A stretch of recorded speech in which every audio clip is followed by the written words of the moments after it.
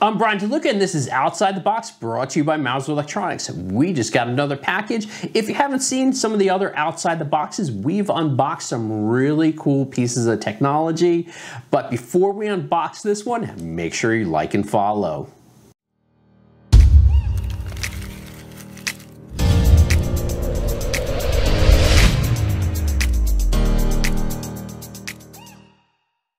One of my favorite parts about Mouser.com is all the technical documentation they have for components, evaluation kits, and dev board. Now let's see what's inside this package.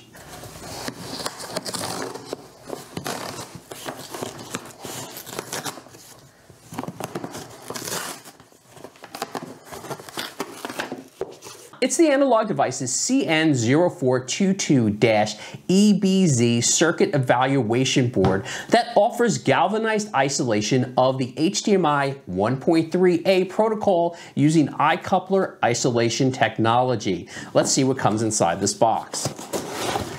So we have power cables and we have our board. Let's take a closer look at the board itself. Over here we have our HDMI sink. Over here we have our USB micro B.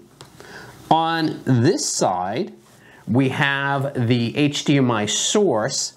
And if we go back over here, this is really where your isolation barrier is. The analog device's CN0422-EBZ circuit evaluation board features the iCoupler technology that isolates the low voltage differential signaling LVDS physical layer at data rates in excess of 1 gigabit per second, reducing complexity in systems where both isolation and high bandwidth are required. Support of HDMI 1.3 at 720p at 60 Hz, 2500 volt galvanic isolation. The CN0422-EBZ circuit provides a completely isolated connection between the high-definition multimedia interface source and an HDMI sink device. Isolation in the circuit increases system safety and robustness by providing protection against the electrical line surge.